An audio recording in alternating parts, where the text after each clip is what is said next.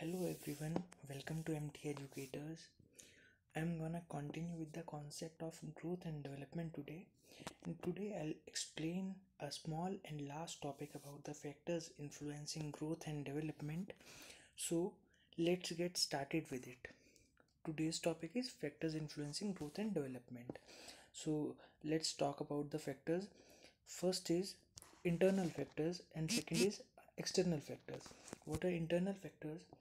Factors which lie within the individual are known as internal factors, and these factors include first point is hereditary factors.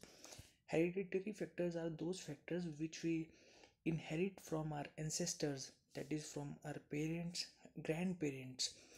In these factors include height, weight, color of eyes, skin, etc. And then the second point comes biological factors it, it includes constitutional makeup physique or uh, body types. And third factor is intelligence. It includes the ability to learn adjust taking right decisions problem solving behavior creativity and imagi- imaginations.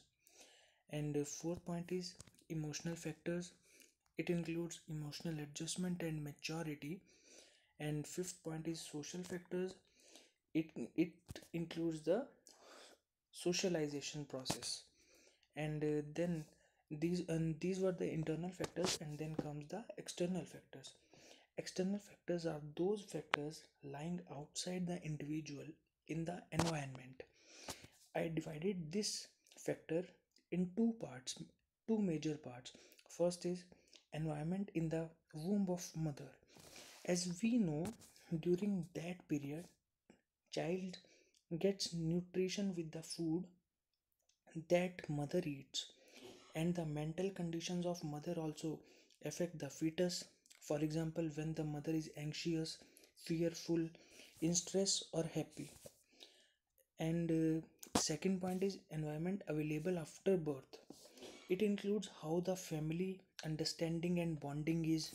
Neighborhood schooling teachers and peer groups of the child etc so these were the factors that affects the environment available after birth to a child. So this was our whole concept of growth and development. I hope you guys will find this video helpful.